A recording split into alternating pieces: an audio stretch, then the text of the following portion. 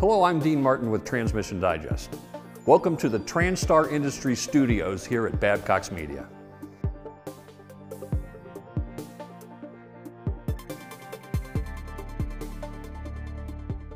General Motors 6L80 and 6L90 uh, shifting and clutch apply issues uh, can be attributed to the TCM, valve body, or even hard part. Certain shift issues, such as third gear or fifth gear, can even set a trouble code of a P0776. One of the issues that uh, the 6L80, 6L90 has had has been a cracked 3-5 reverse clutch drum. Testing the uh, clutch drum could involve taking the stator support, dropping it down over the drum, and uh, air checking it to see if you hear any uh, air escaping. Uh, that's not always the best thing to do because of how this is made. Uh, this is a stamped steel drum, a Grob drum, if you will, and this center tower is welded into the housing, and this is what actually cracks.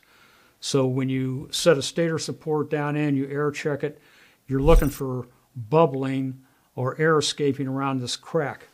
The problem comes in, it's not just the uh, crack that might be the issue. All drums have an air bleed here, and that air bleed is going to allow air to escape when you apply it. So you can't just condemn the drum by setting a stator support on, shoot air to it, and hear some air escaping from the uh, from the drum itself. You also have to verify that what you're hearing is not from the air bleed, but actually from the crack, because sometimes these cracks are not uh, very obvious. So when you get a 6L80 or 6L90 in, with a uh, shifting condition or apply condition, such as third gear, fifth gear, reverse, uh, there's a good possibility it is this drum.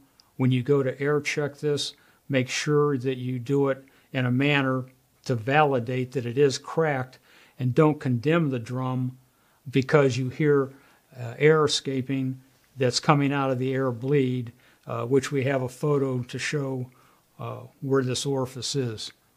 So make sure it is cracked before you uh, throw it in the trash. I'm Mike Riley. Thanks for watching. See you next time.